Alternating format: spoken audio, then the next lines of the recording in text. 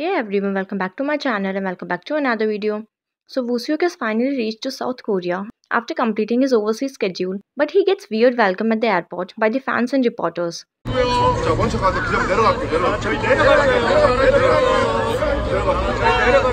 He was literally badly mobbed by the fans and reporters were showing camera on his face. This is so annoying and frustrating. If you're truly a fan of Woo Seok, you would never do that. 내려가서 내려가서. 내려갈게요. 저희. 내려가세요. 앞에 보세요. 어 앞에 앞에 조심 앞에 조심.